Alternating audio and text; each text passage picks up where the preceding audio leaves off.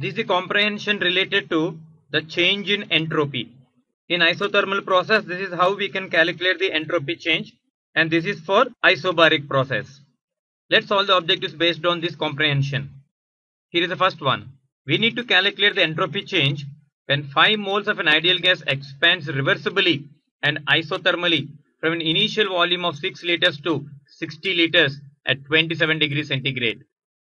So here for isothermal process we need to use this particular relation and it is delta S equal to 2.303 NR log V2 upon V1 and this is equal to 2.303 into 5 into R value which we need to take it in joules because the final answer is in joules only.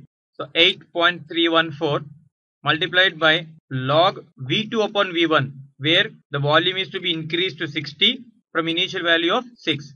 This is log 10 which is equal to 1 and on solving this we get the value is equal to 95.73 joules Kelvin inverse. The only thing here is you need to remember this formula. And of course as this is a comprehension it's very clearly given here itself. That is 2.303 nr log v2 upon v1 so our answer is option d